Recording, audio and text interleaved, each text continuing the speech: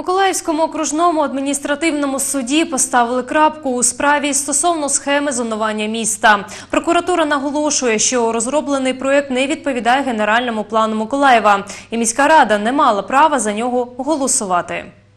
Понад рік тривала судова тяганина навколо ухвалених міськрадою схем зонування. Вони передбачають розмежування територій з виділенням особливих зон, для кожної з яких встановлюється цільове призначення. Після розробки останніх схем в місті, а точніше на його кресленнях, значно поменшало зелених зон, що не залишилось без уваги прокуратури.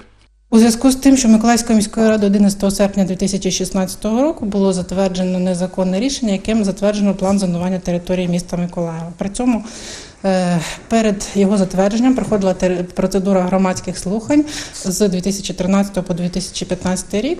Як виявилось, схеми зонування з невідомих причин не відповідають генеральному плану міста. Тобто, якщо на генплані окрема ділянка позначена як зелена зона, то на схемах зонування на тому ж місці вже не виключається будівництво.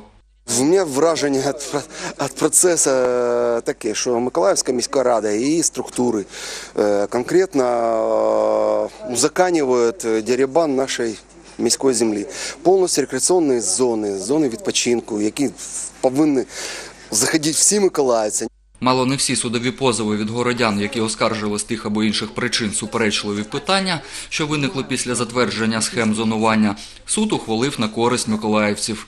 Більше трьох десятків е, рішень. Там тільки рішення скасувати. Там скасовані державні акти, витребувати земельні ділянки і все перереєстровано за державою. Але у представників захисту міської ради інша точка зору. План зонування е, не передбачає безпосередній вплив на суб'єкти господарювання. Він е, передбачає вплив на земельні ділянки, які безпосередньо е, розміщаються в межах міста шляхом визначення меж цих земельних ділянок, ну і відповідних містобудівних регламентів.